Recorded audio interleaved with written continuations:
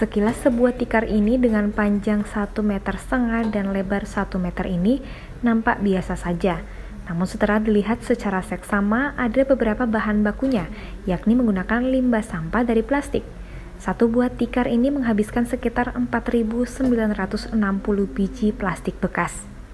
Lewat festival sampah ini, masyarakat Kecamatan Lewi Munding, Kabupaten Majalengka, mampu menciptakan karya berbahan dasar sampah, di antaranya menjadi sebuah tikar, kantong belajar, serta kostum unik.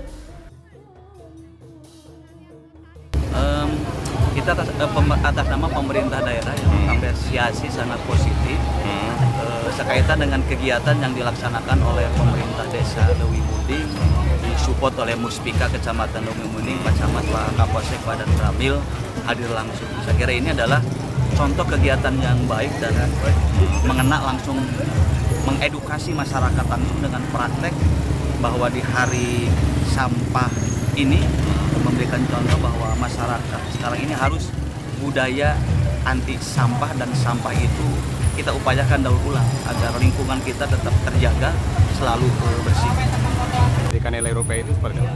Nah, upaya kita terus-terusan menghimbau kepada masyarakat dan memberikan contoh. Hmm. Jumat bersih terus kita galakan agar di minimal seminggu sekali itu gerakan ya, bukan artinya hari-hari tanpa melakukan kebersihan itu ya. Hmm. Nah, cuman untuk di hari Jumat kita jumsi terus kita lakukan bersama dan kemudian juga kita sekarang nih, sekarang kita bagaimana caranya agar sampah di Majalengka ini tidak hanya saja kita bikin tempat pembuangan akhir sampah TPA, tapi tempat pengelolaan.